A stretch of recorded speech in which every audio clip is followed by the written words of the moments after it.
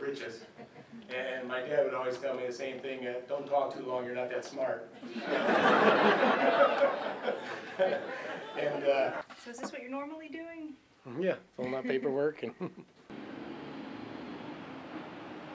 That uh, we need to do the things, principal things that we were talking about before, but cutting the budget and cutting the deficit. And it's our duty to care for each other.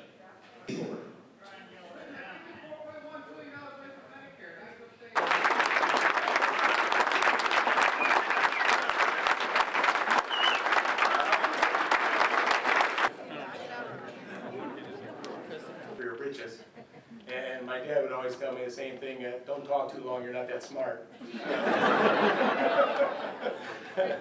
And, uh, So is this what you're normally doing? Yeah, filling out paperwork and.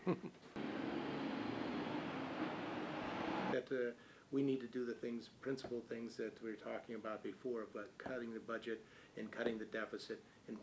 It's our duty to care for each other.